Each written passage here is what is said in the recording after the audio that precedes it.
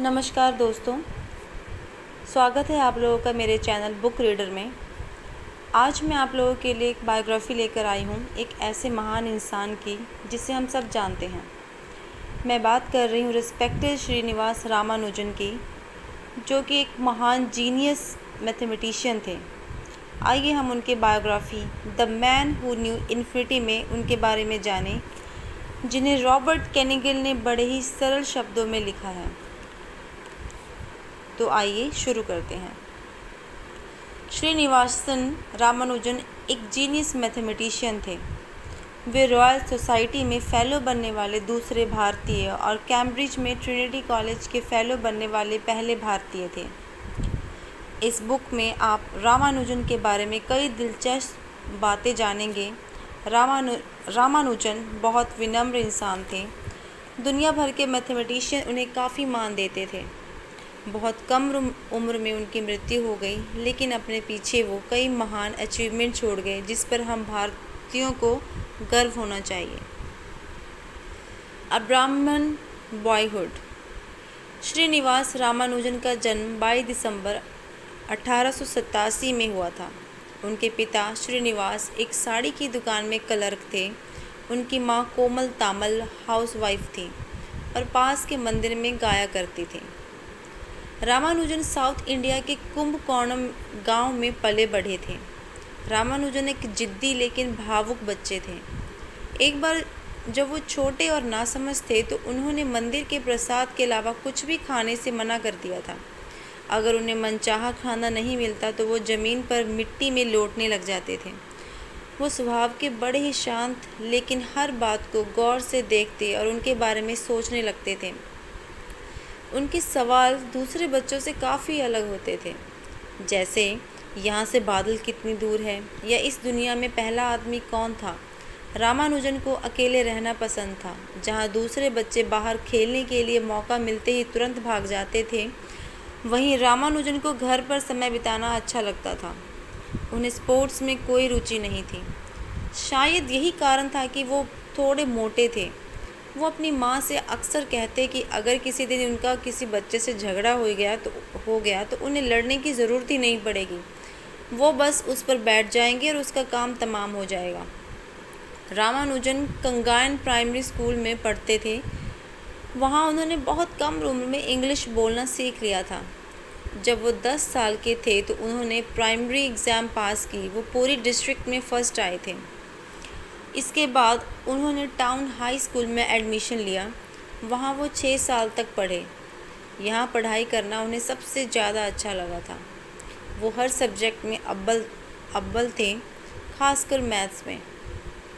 एक दिन math teacher पढ़ा रही थी कि अगर किसी भी नंबर को खुद से डिवाइड करो तो उसका जवाब हमेशा एक होता है।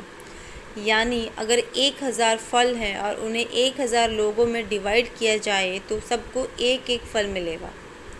तभी अचानक रामानुजन बोले, अगर ज़ीरो को ज़ीरो से डिवाइड किया जाए तो तब भी आंसर एक ही होगा।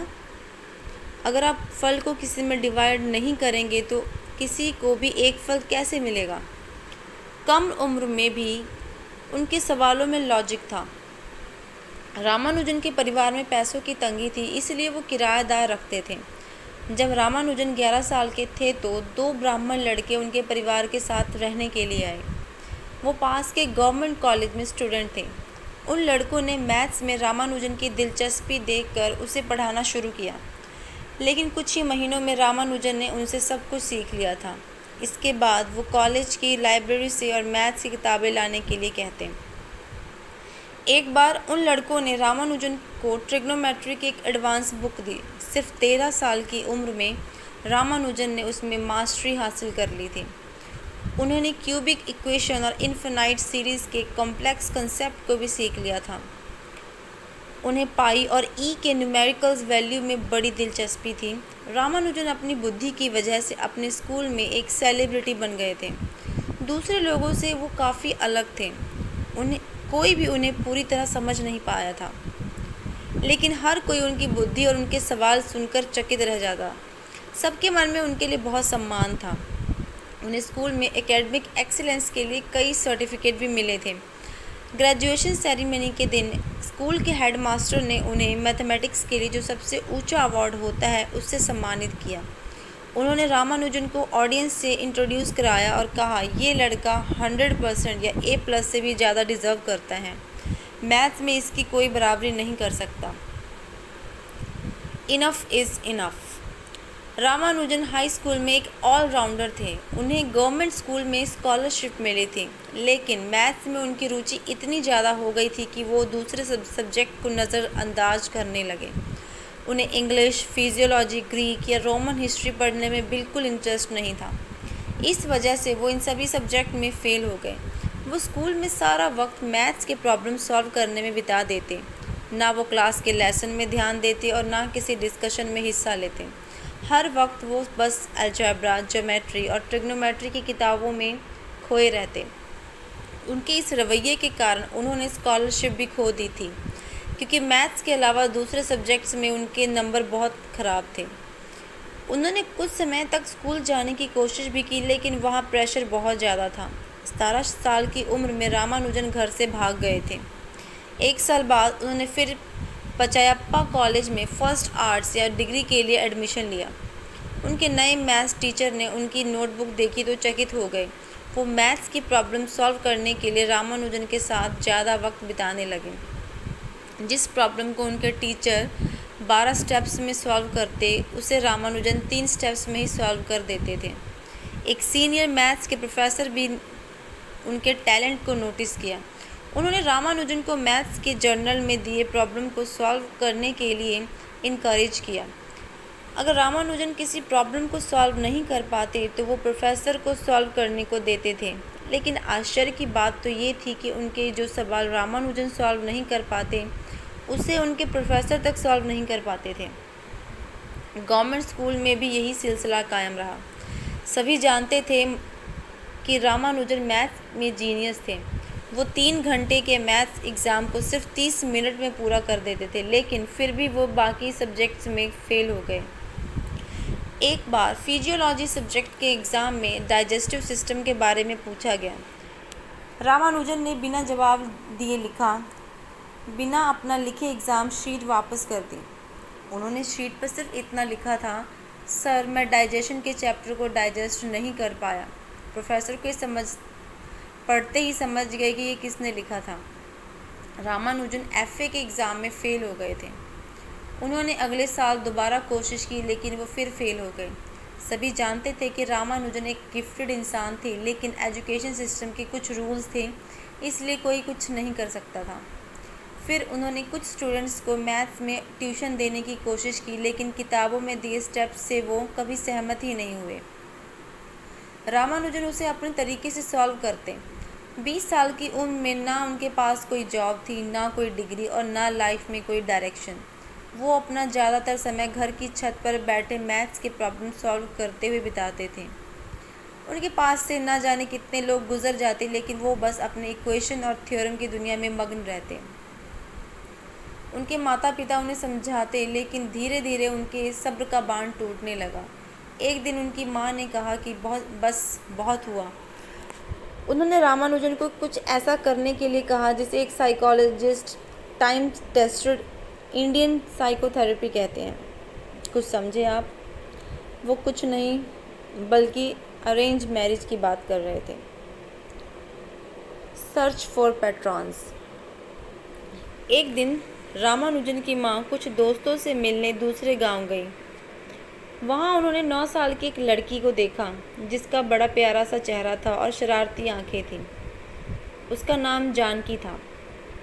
उन्होंने लड़की की कुंडली मांगी और उसे रामानुजन की कुंडली से मिलाने लगी। उन्होंने सोचा कि रामानुजन के साथ उनकी जोड़ी बहुत अच्छी रहेगी, इसलिए उन्होंने जानकी के परिवार से बात चलाई। जानकी का परिवार गरीब था और दहेज में बस कुछ तांबे के बर्तन ही दे सकते थे।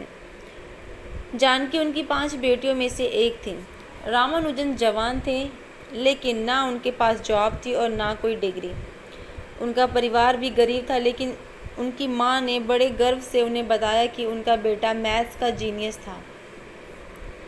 शादी के दिन रामानुजन की, रामानुजन और उनकी माँ को देर हो गई। जिस ट्रेन से वो आ रहे थे, उसने वहाँ पहुँचने में घंटों लगा दिए। इसलिए वो जानकी के घर रात एक बजे पहुँचे। इस शादी में कुछ और बुरी घटनाएँ भी घटी, लेकिन फिर भी रामानुजन की माँ इस शादी से खुश थी। इस तरह 22 साल की उम्र में रामानुजन की शादी हुई। शादी होने के बाद अब वो पूरे दिन घर पर नहीं बैठ सकते थे, इसलिए एक अच्छे मौके या जॉब की तलाश में रामानुजन निकल पड़े। पहले वो मद्रास गए। उन्होंने घर घर जाकर दोस्तों से मदद मांगी। उनके पास अपने टैलेंट का बस एक ही सबूत था। उनके नोटबुक्स, जिसमें उन्होंने मैथ्स के अनगिनत प्रॉब्लम सॉल्व किए थे और कई थ्योरम लिखे, वो उनके लिए बहुत ख़ास थे। लेकिन ये रास्ता उनके लिए आसान नहीं था, क्योंकि उनके पास कोई डिग्री नहीं थी। जिस वजह से कई लोग ने उन्हें रिजेक्ट कर दिया। चंद लोग ही थे जिन्होंने रामानुजन के पोटेंशियल को पहचाना और उन्हें एक मौका दिया। उनमें से एक थे रामचंद्र राव, जो इंडियन मैथमेटिकल सोसाइटी के डिस्ट्रिक्ट कलेक्टर और सेक्रेटरी थे। राम ने उन्हें कोई जॉब नहीं दी, बल्कि स्कॉलरशिप दी, ताकि रामानुजन इंडियन मैथमेटिकल सोसाइटी के जनरल के लिए लिख सके। इस काम के लिए वो उन्हें हर महीने पच्चीस रुपये देते थे। रामानुजन ने जनरल के लिए कुछ रिसर्च पेपर्स और कुछ इंटरेस्टिंग मैथ्स के सवाल लिखे। धीरे धीरे सबका ध्यान उनकी ओर जाने लगा। मद्रास में समुद्र के पास रहना उन्हें बड़ा अच्छा लगता था। एक बार रामानुजन से बोर्डिंग हाउस में उनके एक दोस्त मिलने आए। उन्होंने कहा, रामानुज, सब तुम्हें जीनियस कहते हैं। रामानुज ने कहा, मैं कोई जीनियस नहीं हूँ। मेरी कोहनी को देखो, ये तुम्हें मेरी कहानी बता देगा। उनकी कोहनी इंक के कारण काली हो गई थी। वो बोर्ड पर लिखे इक्वेशन को मिटाने के लिए इसका इस्तेमाल करते थे। उनके दोस्त ने पूछा, तुम पेपर का इस्तेमाल क्यों नहीं करते? रामानुजन ने कहा कि पेपर खरीदने की उनकी हैसियत नहीं थी। उन पैसे को वो खाना खा, खरीदने के लिए बचा कर रखना चाहते थे। कभी कभी वो पहले से इस्तेमाल किए हुए पेपर पर लाल इंक से लिखा करते थे। ऐसे ही एक चीज़ से दूसरी चीज़ का रास्ता बनता गया और रामानुजन ने मद्रास पोर्ट ऑफ़ ट्रस्ट में काम करना शुरू कर दिया। उन्होंने officer in charge, sir Francis Spring और second in command Narayana Iyer ने जॉब पर रखा था। उन्हें अकाउंटिंग कलर की पोजीशन दी गई, जिसके लिए उन्हें महीने के तीस रुपये मिलते थे। सर फ्रांसिस और नारायण अय्यर दोनों उनके प्रति बड़े दयालु थे। जब ज़्यादा काम नहीं होता तो वे उन्हें मैथ्स के प्रॉब्लम सॉल्व करने की इजाज़त दे देते। वो कैम्ब्रिज यूनिवर्सिटी के मैथमेटिशियन के लिए रख, लिखे जाने वाले लेटर का ड्राफ्ट तैयार करने में भी उनकी मदद करते सर फ्रांसिस के ज़रिए ब्रिटिश ऑफिसर्स को रामानुजन के एक्स्ट्रा ऑर्डनरी टैलेंट के बारे में पता चला, लेकिन वो फैसला नहीं कर पा रहे थे कि उन्हें क्या करना चाहिए। उनमें से कुछ को लगता था कि रामानुजन पागल थे। उनमें से कुछ ने सलाह दी कि अगर भारत में रामानुजन को कोई नहीं समझता तो उन्हें कैम्ब्रिज में बेहतर स्पोर्ट और ट्रेनिंग मिल सकती है। रामानुजन ने कैम्ब्रिज में अपने काम के सैंपल के साथ लेटर भेजे वहाँ के दो मैथमेटिशियन ने उन्हें रिजेक्ट कर दिया। सिर्फ़ एक ने हाँ कहा। उनका नाम जी एच हार्डी था। I beg to introduce myself अपने लेटर में रामानुजन ने खुद को मद्रास पोर्ट ऑफ़ ट्रस्ट में मामूली सैलरी पर काम करने वाले एक क्लर्क के रूप में इंट्रोड्यूस किया। उन्होंने बताया कि उनके पास यूनिवर्सिटी एजुकेशन तो नहीं थी, लेकिन वो अपने लिए एक नया रास्ता बना रहे थे। उन्होंने ये भी लिखा कि वो गरीब थे और अपना काम पब्लिश नहीं कर सकते थे। इस लेटर के साथ उन्होंने अपना लिखा हुआ पचास थ्योरम भी भेजा। एक जगह उन्होंने उस रिसर्च के बारे में तर्क भी दिया, जो हार्डी ने तीन साल पहले कैम्ब्रिज में लिखा था। पहली बार जब हार्डी ने रामानुजन के लेटर को पढ़ा तो उन्हें लगा ये कोई शरारत थी। उन्हें पहले भी ऐसे कई लेटर मिल चुके थे जिनमें किसी ने दावा किया था कि वो मैथ्स का मुश्किल से मुश्किल प्रॉब्लम भी सॉल्व कर सकता था। लेकिन हार्डी रामानुजन के लेटर को दिमाग से नहीं निकाल पा रहे थे। उन्होंने कभी भी रामानुजन के बनाए हुए थॉरम जैसा कुछ नहीं देखा था। यहाँ तक कि उन्होंने इसकी कभी कल्पना भी नहीं की थी। ये लेटर उन्हें पूरे दिन परेशान करता रहा। इसलिए उन्होंने अपने सबसे अच्छे दोस्त जॉन लिटिलवुड को उसे दिखाने का फैसला किया। उस रात तीन घंटे तक वो दोनों रामानुजन के थ्योरम को पढ़ते रहे। हार्डी को एहसास हुआ कि ये अब तक का सबसे कमाल का लेटर था, जिसने उन्हें सोचने पर मजबूर किया था। उन्होंने कहा कि रामानुजन के थ्योरम ने उनकी बोलती बंद कर दी थी। हार्डी के अनुसार उन थ्योरम्स पर कोई एक नज़र डालकर बता सकता था कि उन्हें लिखने वाला एक जीनियस मैथमेटिशियन था, जो एक्स्ट्रा ऑर्डनरी और बिल्कुल ओरिजिनल था। हार्डी को ये यकीन हो गया था कि रामानुजन कोई धोखेबाज नहीं था, क्योंकि किसी आम आदमी का ऐसे थ्योरम को इमे इमेजिन कर पाना भी इम्पॉसिबल था। हार्डी ने ट्रिनिटी ट्रिनिटी कॉलेज में अपने सभी साथियों को रामानुजन का लेटर दिखाया। उन्होंने लंदन में इंडियन ऑफ़िस को भी एक लेटर लिखा। उनकी इच्छा थी कि रामानुजन को कैम्ब्रिज बुलाया जाए। बेशक हार्डी ने रामानुजन के लेटर का भी जवाब दिया। उन्होंने लिखा, सर, मुझे आपके थ्योरम काफ़ी दिलचस्प लगे। मैं जल्द से जल्द आपका और भी काम देखना चाहूँगा। अब जब रामानुजन को हार्डी का सपोर्ट मिल गया तो ब्रिटिश ऑफिसर्स उन्हें सीरियसली लेने लगे। रामानुजन के पास अब भी कोई डिग्री नहीं थी, लेकिन मद्रास यूनिवर्सिटी के चांसलर ने उनके लिए रूल्स में थोड़े बदलाव किए। उन्होंने उन्हें प्रेसिडेंसी कॉलेज में रिसर्च स्कॉलरशिप ऑफ़र की। इसके लिए उन्हें महीने के पचहत्तर रुपये दिए गए। रामानुजन ने कैम्ब्रिज आने के इनविटेशन को मना कर दिया था। वो एक समर्पित हिंदू ब्राह्मण थे और विदेश ना जाने की परंपरा को कायम रखना चाहते थे। इससे हार्डी थोड़ा नाराज़ हुए, लेकिन वो अब भी रामानुजन को कैम्ब्रिज बुलाना चाहते थे। इसके लिए हार्डी ने अपने दोस्त से मदद मांगी। ई एच नेविल मद्रास में लेक्चर देने वाले लेक्चर देने वाले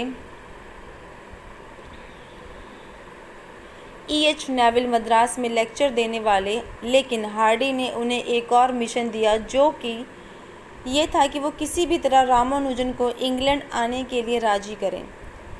रामानुजन ने जब हार्डी के लेटर का जवाब दिया था तो उसमें लिखा था कि मुझे आप में ऐसा दोस्त मिला है जो मेरे काम की सराहना करता है।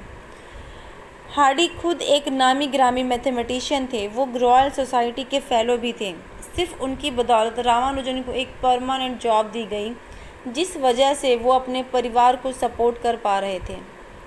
एक दिन रामानुजन ने सपने में नामक्कल मंदिर में कुछ देखा, जिसके बाद उन्हें यकीन हो गया था कि उन्हें एक बार विदेश ज़रूर जाना चाहिए। मार्च 1914 में वो हार्डी से मिलने के लिए निकल पड़े।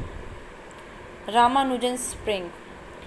रामानुजन जब कैम्ब्रिज गए तो स्प्रिंग का मौसम था। उस प्यारे मौसम में कई खूबसूरत फूल खिलते थे। उन्हें कैंपस में रहने की जगह दी गई। उन्होंने हार्डी और लिटिल वुड के साथ काम करना शुरू कर दिया। रामानुजन ने कहा कि वो दोनों उनके प्रति बहुत दयालु और मददगार थे। वो कहते हैं ना, जैसा देश, वैसा भेष। तो बस रामानुजन ने भी वेस्टर्न कपड़े पहनना शुरू किया, लेकिन वो चप्पल हिंदुस्तानी ही पहनते थे। वो कहते हैं कि जूते उनके पैरों को तकलीफ़ देते हैं। रामानुजन ने पिछले दस सालों में लिखे लगभग तीन हज़ार थ्योरम हार्डी और लिटिल वुड को दिखाए। हार्डी ने कहा कि उनमें से कुछ गलत थे, कुछ पहले से ही मैथमेटिशियन ने खोज लिए थे, लेकिन उनमें से दो बटा तीन एक्स्ट्रा ऑर्डिनरी थे जो किसी को भी आश्चर्यचकित कर सकते थे। रामानुजन के साथ कुछ महीने काम करने के बाद हार्डी और लिटिल वुड को लगा कि अभी तो उन्होंने रामानुजन के पोटेंशियल की बस एक झलक देखी थी। वो तो एक समंदर की तरह थे जिसमें बहुत ज्ञान भरा हुआ था। हार्डी ने तो यहाँ तक कहा कि उन्होंने आज तक रामानुजन के स्किल जैसा मैथमेटिशियन का नहीं देखा था और उनकी तुलना सिर्फ़ यूलर और जैकॉबी जैसे जीनियस और दिग्गजों से ही की जा सकती थी। हार्डी ने एक बार लिखा, रामानुजन ने मेरी, रामानुजन मेरे खोज थे, लेकिन मैंने उन्हें नहीं बनाया है। उन्होंने खुद अपने आप को बनाया है। हार्डी इस बात से खुश थे कि रामानुजन जैसे हीरे वो सबसे पहले तलाशने में कामयाब हुए। वो खुद रामानुजन के मैन्यूस्क्रिप्ट्स को एडिट करते और उसे पब्लिश करने भेज देते। 1914 में रामानुजन के जीनियस काम को पब्लिश किया गया। हार्डी ने उसे तुरंत लंदन मैथमेटिकल सोसाइटी में अपने दोस्तों के साथ शेयर किया। रामानुजन के पहले पेपर का टाइटल था, मॉड्यूलर इक्वेशन और अप्रॉक्सीमेशन टू पाई। आखिर रामानुजन कैम्ब्रिज के अति बुद्धिमान कम्युनिटी के मेंबर के रूप में चर्चित होने लगे। वहाँ कई जीनियस थे जिन्होंने समझा और उनके काम के पोटेंशियल को पहचाना।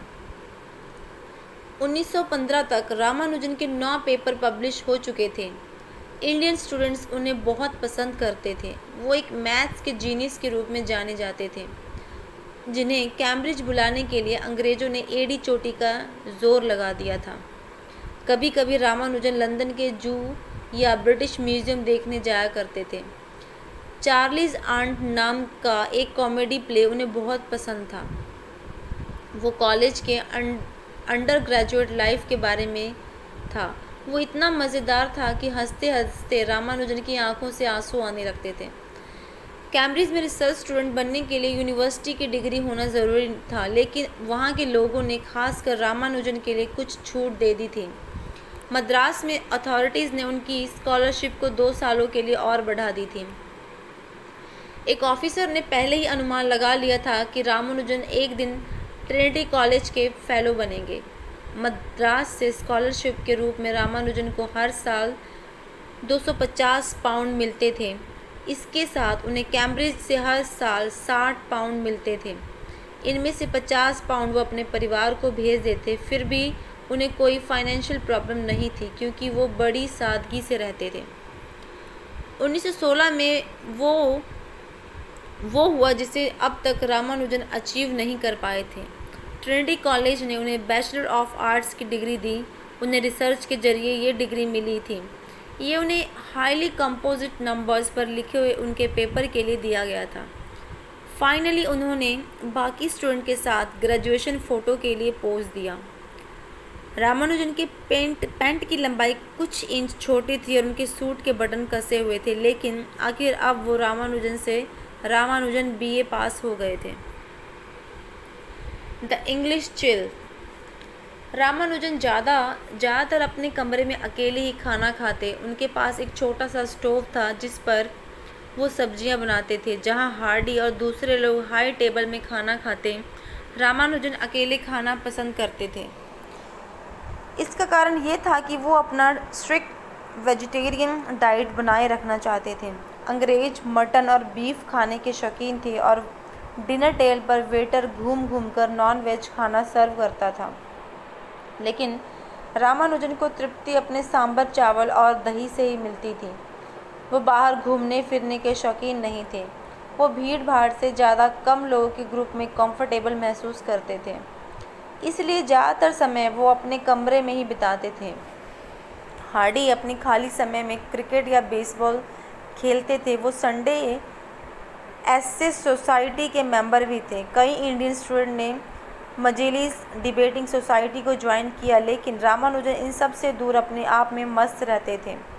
सर्दियों का मौसम शुरू हुआ। उस ठिठुरती ठंड में और वर्ल्ड वॉर एक के दौरान रामानुजन को घर की याद आने लगी। वो अपने देश की परंपरा और कल्चर को मिस कर रहे थे, जिनके बीच वो बड़े हुए थे। लेकिन सबसे ज़्यादा उन्हें अपनी पत्नी की याद आ रही थी और वो अपनी माँ के लाड को तरस रहे थे। उन्नीस में रामानुजन के लिए सिचुएशन और मुश्किल हो गई हो गई थी। उन्हें ट्यूबलर क्लोसिस हो गया था, जिस वजह से उन्हें कई महीनों तक हॉस्पिटल में रहना पड़ा। डॉक्टरों ने इसका कारण खाने पीने की कमी और न्यूट्रिशन डेफिशिएंसी बताया था, जो उस वक्त यूरोप में काफ़ी फैला हुआ था। ये सब उनके लिए और ज़्यादा तकलीफ़ दे तब हुआ जब कई महीनों तक उन्हें अपने घर से कोई लेटर नहीं मिला। उनकी माँ या जानकी की तरफ़ से भी कोई लेटर नहीं आया था। बाद में पता चला कि उनकी माँ ही उनके लेटर को रोक रही थी। ना वो जानकी को रामानुजन के लेटर पढ़ने देती और ना उनके लेटर को रामानुजन को भेजती। उन्होंने जानकी से कहा कि उसके लेटर बड़े बचकाने और बेवकूफ़ी भरे थे। रामानुजन चाहते थे कि जानकी कैम्ब्रिज आ जाए, लेकिन उनकी माँ ने उन्हें आने नहीं दिया। जानकी अपनी सास के व्यवहार से परेशान हो गई थी। फिर उसे अपने भाई की शादी में वहाँ से बचकर निकलने का मौका मिला। जानकी लंबे समय तक अपने ससुराल वापस नहीं गई। रामानुजन बहुत चिंतित थे। घर से कोई खबर नहीं मिलने के कारण वो बहुत दुखी थे। ट्यूबरक्लोसिस का उनके शरीर पर और इस चिंता का उनके मन पर गहरा असर हो रहा था। वो बहुत कमज़ोर हो गए थे और उनका वज़न गिरता जा रहा था। उन्हें न्यूट्रिशियस और हेल्थ हेल्दी खाने की ज़रूरत थी, लेकिन इन सब के बावजूद वो इस बात पर अड़े रहे कि वो वेजिटेरियन खाने के अलावा कुछ नहीं खाएँगे। उन्नीस का साल उनके लिए बेहद मुश्किल वक्त था। दुनिया में जंग छिड़ी हुई थी, बीमारी ने उन्हें घेर रखा था, परिवार से कोई खबर नहीं थी और कप कपाने वाली सर्दी में वो बिल्कुल अकेले और हताश हो गए थे। इन सब का रामानुजन के दिलो दिमाग पर गहरा असर हुआ और जनवरी 1918 में उन्होंने खुद की जान लेने की कोशिश की। उन्होंने रेल की पटरियों पर छलांग लगा दी थी और सामने से एक ट्रेन तेज़ी से उनकी तरफ़ बढ़ रही थी। ये तो चमत्कार ही था कि एक गार्ड ने उन्हें देख लिया और समय रहते स्विच खींच लिया। ट्रेन उनकी बिल्कुल सामने कुछ फुट की दूरी पर आकर रुकी। रामानुजन की जान तो नहीं गई, लेकिन उनकी कई जगह चोटें आईं। फिर उन्हें पुलिस स्टेशन ले जाया गया। हार्डी उन्हें वहाँ लेने पहुँचे। उन्होंने इंस्पेक्टर से रामानुजन को जेल में बंद ना करने की रिक्वेस्ट की। उन्हें बचाने के लिए हार्डी ने झूठ बोला कि बिल्कुल उनकी तरह रामानुजन भी रॉयल सोसाइटी के फ़ैलो थे। शायद वहाँ रॉयल सोसाइटी के फ़ैलो को इतनी आसानी से गिरफ़्तार नहीं किया जा सकता था। इसलिए पुलिस को ने पता लगाया और उन्हें पता चला कि सच में रामानुजन एक नामी मैथमेटिशियन थे। इसलिए उन्होंने उन्हें छोड़ने का फ़ैसला किया। एक घटना के, इस घटना के एक महीने बाद हार्डी का बोला हुआ झूठ हकीकत में बदल गया। रामानुजन इस पर विश्वास नहीं कर पा रहे थे। उन्होंने तीन बार लेटर को पढ़ा। उस साल रॉयल सोसाइटी के फेलो बनने के लिए 104 कैंडिडेट्स में सिर्फ़ 15 लोगों को चुना गया था। रामानुजन उनमें से एक थे। मई उन्नीस में Ramanujan officially S Ramanujan F R S बने। स्वयंभू। जंग खत्म होने के बाद रामानुजन घर लौटने की तैयारी करने लगे। हार्डी और डॉक्टरों ने सुझाव दिया कि रामानुजन की हेल्थ के लिए यही बेहतर होगा कि वो घर लौट जाएँ। इस बीच इंडियन मैथमेटिकल सोसाइटी उनकी सक्सेस का जश्न मना रही थी। उन्होंने उनके एफ़ आर एस के महान अचीवमेंट के लिए उन्हें सम्मानित किया। उनके घर वापसी की खबर सोसाइटी जर्नल के फ्रंट पेज पर छपी थी। मार्च 1919 में रामानुजन मुंबई पहुँचे। वहाँ डाक पर उनकी माँ और उनके छोटे भाई उनका इंतज़ार कर रहे थे। वहाँ से मद्रास जाने के लिए वो एक शिप में सवार हुए। मद्रास में रामानुजन अपनी पत्नी और परिवार के बाकी लोगों से मिले। जानकी तब 18 साल की हो गई थी। रामानुजन को मद्रास यूनिवर्सिटी में प्रोफेसर बनने का ऑफ़र मिला, लेकिन उनकी तबीयत दिन ब दिन खराब होती जा रही थी। वो कहने लगे थे कि वो 35 की उम्र से ज़्यादा नहीं जी पाएँगे और जल्द ही उनकी साँसें बंद हो जाएगी। जानकी ने उनकी बहुत देखभाल की, वो अंत तक उनके साथ खड़ी रहीं। एक दिन रामानुजन पेट में भयंकर दर्द की शिकायत कर रहे थे। उनका शरीर सूख कर हड्डियों का ढांचा बन गया था। अप्रैल 26 1920 को रामानुजन ने आखिरी साँसें ली। बत्तीस साल की कम उम्र में वो दुनिया को छोड़कर चले गए। हार्डी को रामानुजन की मौत के खबर से गहरा सदमा लगा था। बीस साल बाद भी वो रामानुजन के साथ बिताए हुए उस वक्त को उसी सम्मान और भावुकता से याद करते थे। उन्होंने हमेशा इस बात पर ज़ोर देकर कहा था कि रामानुजन एक सेल्फ मेड आदमी थे। कंक्लूज़न तो इस बुक में आपने श्रीनिवास रामानुजन के बारे में जाना, अपने, आपने उनकी स्ट्रगल और उनके सपनों के बारे में जाना। एक बड़ी सक्सेस पाने के लिए फेलियर का भी सामना करना पड़ता है। और रामानुजन भी इससे अछूते नहीं थे। वो कई बार फेल हुए, लेकिन अंत में वो एक सक्सेसफुल इंसान बनकर उभरे। वो एक परफेक्ट इंसान नहीं थे, लेकिन अपनी पूरी ज़िंदगी अपना एक फ़ैशन पैशन फॉलो करने में लगा दिया। उनकी हमेशा बस एक ही इच्छा थी मैथ्स के बारे में ज़्यादा से ज़्यादा जानना। उनके समय का एजुकेशन सिस्टम सख्त था, कई लोगों ने उन्हें गलत भी समझा। बस कुछ लोग ही इस हीरे की चमक को देख पाए। कुछ लोगों ने उन्हें पागल भी समझा, लेकिन उनके जीनियस माइंड को भी कभी कोई पीछे पकड़ ही कर नहीं रख पाया। अपने छोटे से जीवन में जिस चीज़ में, जिस से उनको प्यार था। उसके माध्यम से उन्होंने नॉलेज के फ़ील्ड में बड़ा योगदान दिया। सबका मानना है कि रामानुजन के एफर्ट कभी व्यर्थ नहीं जाएँगे। हर एक भारतीय को उन पर गर्व है और हम सब के लिए एक इंस्पिरेशन है। तो आइए इसी के साथ आज हम अपनी ये बायोग्राफ़ी ख़त्म करते हैं।